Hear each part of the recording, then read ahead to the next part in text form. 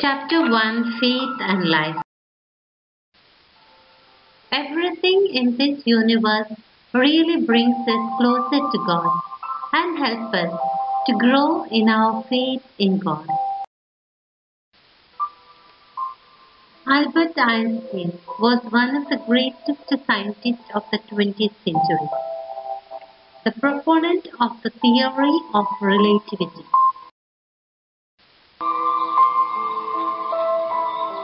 A true believer in God. There is an incident which reveals the truth. When students came to class, Albert Einstein was praying. One of the students wrote on the board, God is nowhere. When Einstein came after some time, he observed the sentence on the board. He took the same piece of chalk and drew a line between now and here with great serenity. Then the sentence became God is now here.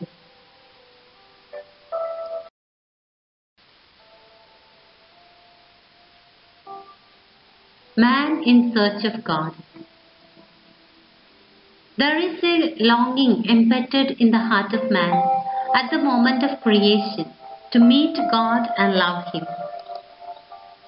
This is a gift of the Creator.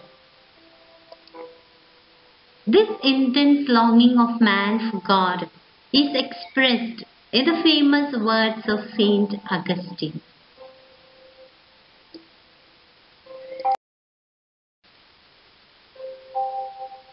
O God, you created me for you. My soul will be restless until it becomes one with you.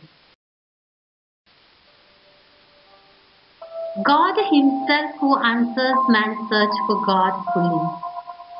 God lovingly reveals Himself through the creatures and created things. God's self manifestation is God's self revelation through His words and actions. The perfection of revelation is in Christ.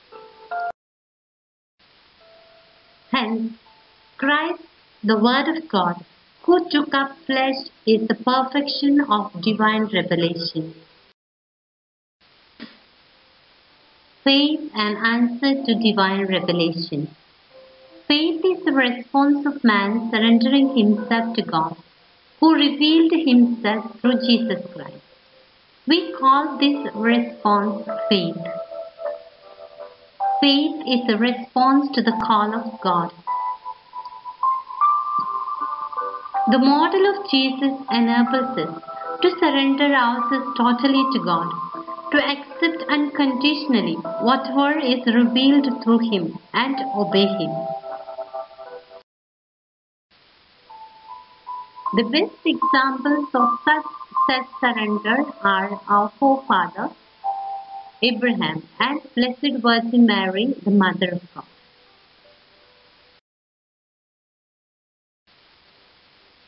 Abraham, the father of the faithful. By faith, Abraham obeyed when he was called to set out for a place that he was to receive as an inheritance. And he set out, not knowing where he was going. He became the father of all faithful all believers. God formed a special set of people through Isaac and his son Jacob.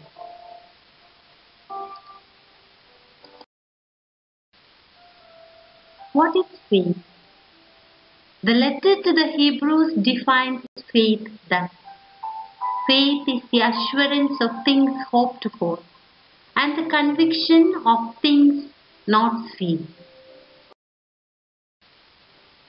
Mary, the blessed who believed. The full picture of obedient faith is Blessed Virgin Mary. Mary, who believed that nothing is impossible for God and who gave her consent, saying, Here am I, the servant of the Lord. Let it be with me according to your word. Received with faith God's message and promise given through angel Gabriel.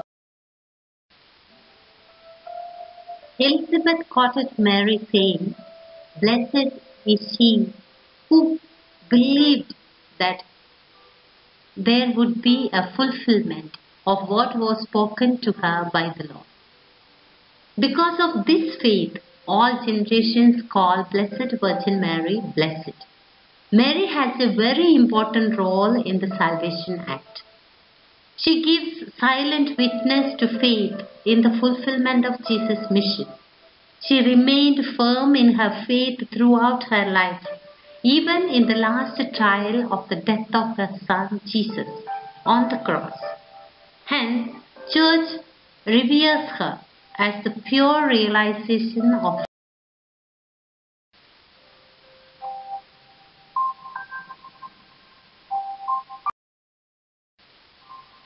Characteristics of faith. Faith is a gift of God. It is the Holy Spirit that leads human hearts to God. God's grace and the help of the Holy Spirit are necessary to inspire human beings to put faith into action.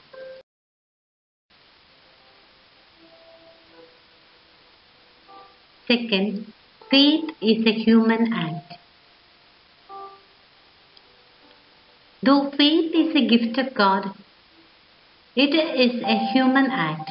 It is befitting to human reason and freedom to depend on God and to embrace the truth revealed by Him. St. Thomas Aquinas says, Faith is the act of the intellect, surrendering himself to divine revelation, obeying the command of the will by grace. Obedience is an act of faith. Disobedience is the result of unbelief.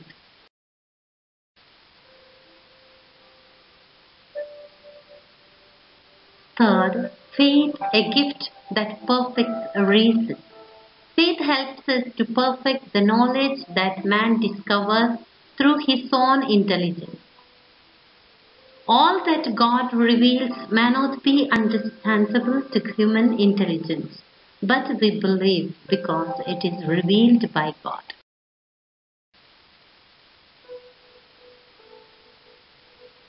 Fourth, faith, the beginning of eternal life. In this earthly pilgrimage, faith enables us to enjoy in anticipation the light and joy of heaven, our destination. All of us live in this world with the hope of the heavenly glory that we expect to attain. Hence, we have already begun eternal life by our faith. Heaven is our destination. Faith, a gift to be protected daily.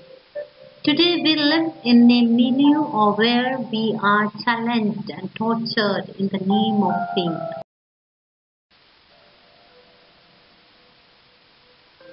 Fifth, faith, a gift to be protected daily. Hence, constant effort is required to continue in faith until death. For we have become partners of Christ if only we hold our first confidence firm to the end. Faith, a gift to be protected. Themes of faith. The basis of faith is the mysteries which God has revealed. First, faith in the Holy Trinity. The most important among the mysteries of faith in the Church is the faith in the Holy Trinity. It is a faith in God, the Almighty Father, and Jesus Christ, His only Son, and in the Holy Spirit, the life giver.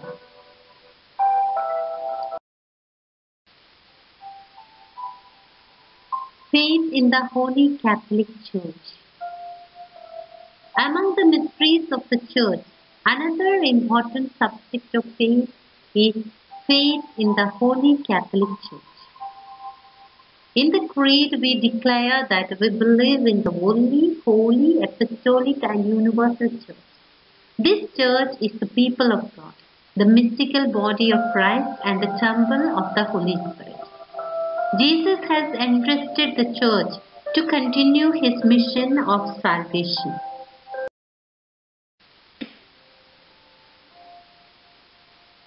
Third, faith in eternal life. Another mystery in Christian faith is faith in eternal life. The Church believes that there is eternal life after death, and each one will have heaven or hell in eternity according to his or her life in this world. This faith in heavenly life enables us to live hopefully in the midst of sufferings and sorrows in this world.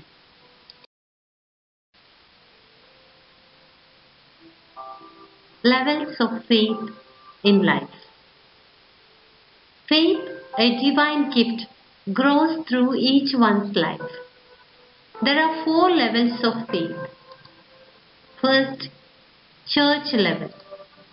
Faith life grows, gets empowered, and bears fruit in the only holy apostolic and Catholic Church. This process is possible through regular listening to the Word of God, reception of sacraments, and a lifestyle based on the commandments of God. Only a person who grows in ecclesial lifestyle can be a model of perfect Christian life.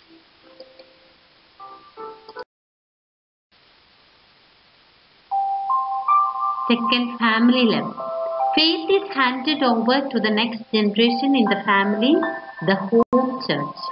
Faith transferred through parents, brothers, and sisters strengthens one in faith. Third, personal level.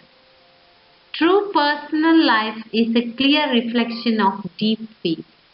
The ways of growth and experiences therein the convictions formed out of these experiences and life witnesses are factors of persuasion and inspiration in an individual's faith formation. Community level. Community is powerfully influential as family. Personalities capable of becoming models to man. As a social being will give inspiration to faith life lifestyle of spiritual persons founded on faith is capable of awakening man's social consciousness. In addition to that, our lives rooted in faith will be an inspiration for many to lead a good life.